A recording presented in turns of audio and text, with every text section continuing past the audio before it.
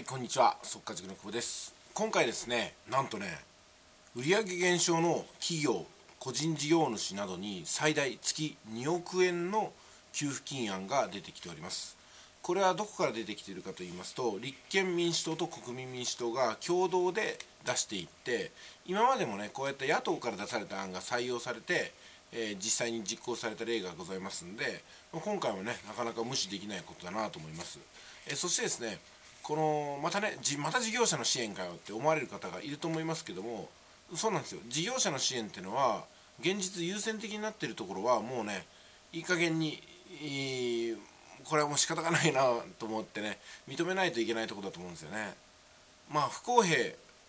を言ってもこれは変わんないですからね。ということはねどういうことかっていうとじゃあ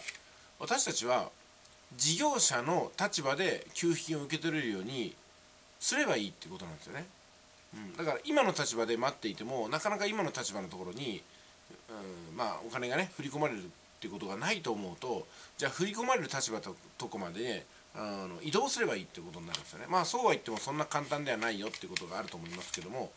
うん、確かにねお金をただもらうっていうのは簡単じゃない部分がありますよね。で今の現実に自分の暮らしをどういうふうにすり合わせていくかってことですよね。まあ今回の動画がそのヒントの一つになればと思っております。で、えー、今回の案なんですけどもどういうことかっていうと2ヶ月連続で売上金額が減少した場合ですね。30%以上減額した場合、家賃ですとか光熱水費を40%から90%補填しますよってことなんですよ。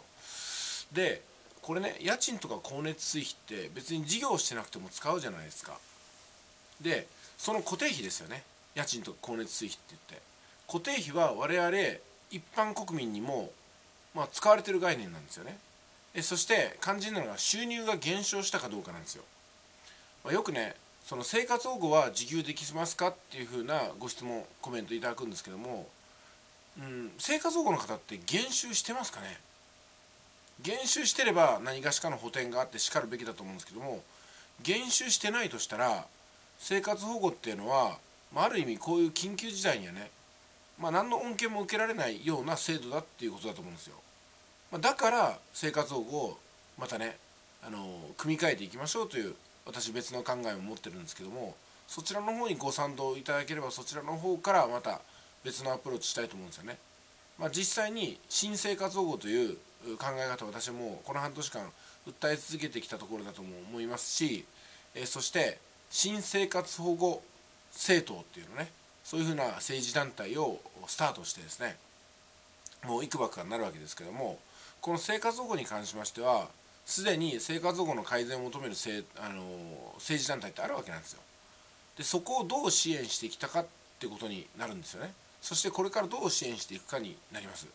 まあ、ですんでね生活保護は給付金もらえますかっていう方の回答としては現時点では生活保護は常に給付を受けてる形なんで新たな給付はないんではないかなと考えた方がいいかなと思います。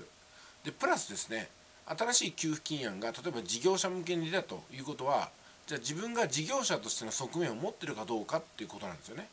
事業者としての側面を持つことは誰でもできると思いますんで、えー、まあなんですね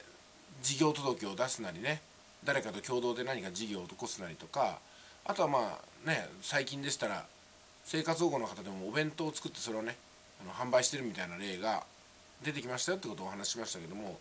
そういったところから事業者としての立場を見ていくってこともあるのかなと思うんですよ。もちろんね誰かと何か商売をするってことはとても考えられないと自分は何ら一つ商業活動せずにねプラスの収入だけ欲しいんだって方に関しましては今のところ私は答えを持ってないんですよまあ、ですんでね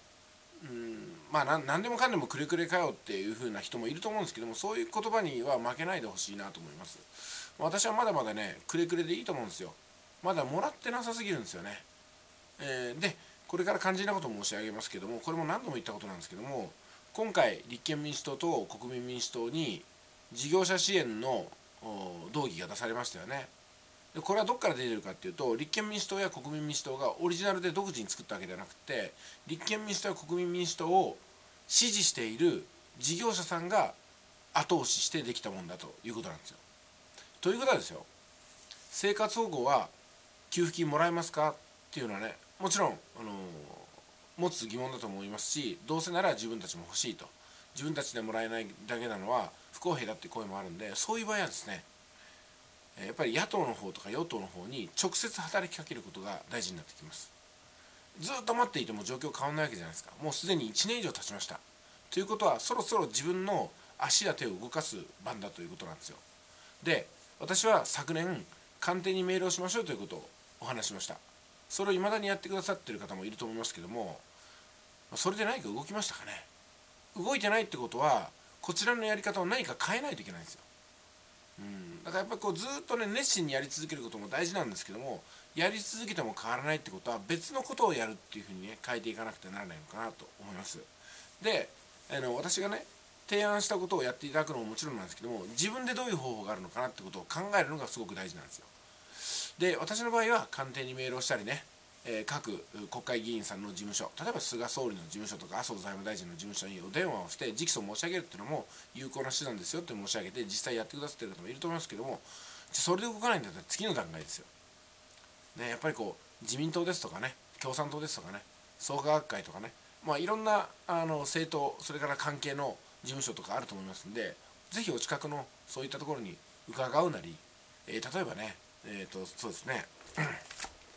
私の地域には自民党のポスティングがこういうふうに行われて街頭演説とかもあるわけなんですよ。じゃあ街頭演説を聞きに行って終わった時とかに質問をさせてもらうとかね。そういうふうに直接自分から政治に歩み寄っていくってことができているかなっていうことだと思います。そしてできればですね同じような立場の人と全国でインターネットでつながって、えで全国で同じような動きを一斉に出していくってことも有効だと思うんですよ。うんやっぱりね政治っていうのはこの民主国家ではより多くの人が同じ意見を言ってるものから採用します。これは変わらないんですよ。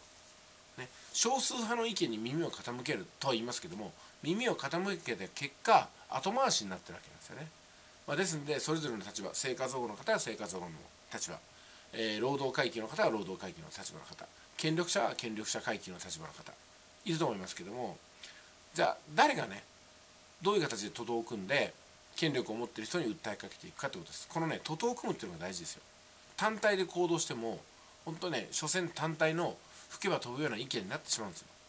です私は一つの方法として YouTube というものを通じてですねたくさんの方と団結して同じ方向にプッシュをかけるような働きをしているということでございます。YouTube は無料でできますしね。あとは自分がどんな自分の人生を望んでいるかだけです。私はこうやって顔出し名前出しで放送を提供してますけどもそれはですね自分の人生を自分が思う通りに作る以上に大切なことはないと思ってるからなんですよ。ある意味そのためには命がけなんですよ。自分の人生を生きることに命がけです。だから顔を出してね批判にさらされるとかなんか特定されてバレるみたいなことをねやっぱ怖いですけどもそれ以上に自分の人生が送れない方が怖いんですよ、ね、だから私は果敢に立ち向かっていくってとこですかね。まあ皆さんにこれをやれってわけじゃないですよ。やれってわけじゃないけども、うん、自分の人生ってのはね誰かに遠慮してたら開けないんですよ、うん、だからまずは自分が自分の人生の中の主人公であるってことをねしっかりと認めてあげることなのかなと思ってますね。さあいろいろと申し上げましたけども今回ね、えー、月に2億円の案が出ました。この案が煙と消えるのか実現するのかそれとも金額を抑えての実行になるのかまだ全く分かりませんけども世の中にはね声を上げ続ける人がいてそれを政権与党野党に届ける方がいるということでございます。そして選択はその中から行われます。ここが大事なんですよ。私たちが権力者に挙げたその声の中から選択されるんですよ。ですんで権力者に声を上げなければ選択肢にすら乗らないんでそこら辺がねもったいないところですよね。はい、えー、いろいろ申し上げましたけども以上でございます